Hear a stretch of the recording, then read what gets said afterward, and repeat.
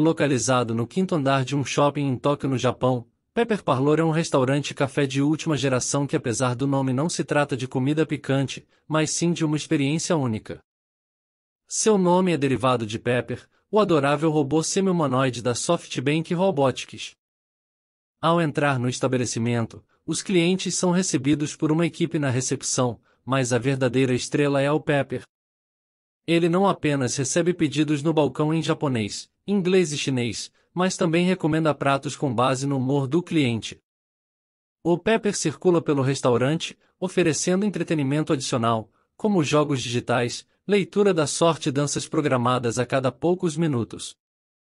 O café não se limita ao Pepper, apresentando outros robôs como não, Servir e Vis. Cada um tem sua função específica, desde interação com clientes até tarefas de entrega e limpeza. O não, por exemplo, é um robô dançante semi-humanoide que realiza movimentos coreografados em uma plataforma no centro do café a cada hora. Além da experiência robótica, o restaurante Café Pepper Parlor oferece uma variedade de waffles doces e salgados no cardápio do restaurante, com recheios que abrangem opções para todos os gostos. O conceito do café é proporcionar um vislumbre de um futuro emocionante em que humanos e robôs trabalham juntos.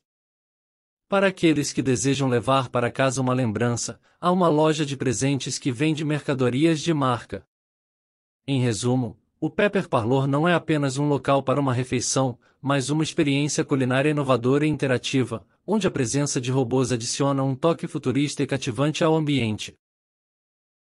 Para mais histórias incríveis como essa, se inscreva no nosso canal. Não se esqueçam de curtir esse vídeo. Até a próxima!